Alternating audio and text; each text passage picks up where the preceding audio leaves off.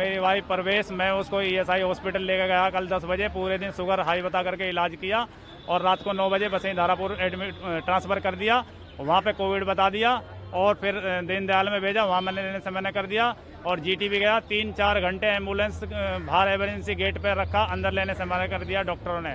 कोई ट्रीटमेंट नहीं हो रहा था वहाँ पे, झूठा दिखाया जा रहा था लाइव की एक सौ पिछहत्तर वन सेवेंटी फाइव बेड खाली हैं।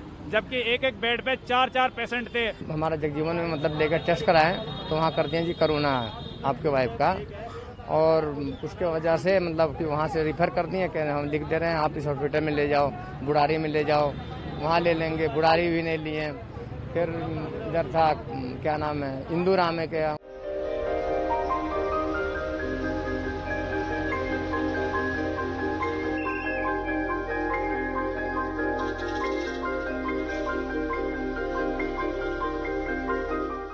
इसमें एडमिट पानी तक नहीं दे रहे, खाना तक नहीं दे रहे, ज़मीन पे लेटा दिया है। बस यही का दम तोड़ देगा, कहेगा, ले जाओ। घर से भी कुछ ला के दे रहे, वो भी नहीं पहुँचा रहा। हाँ?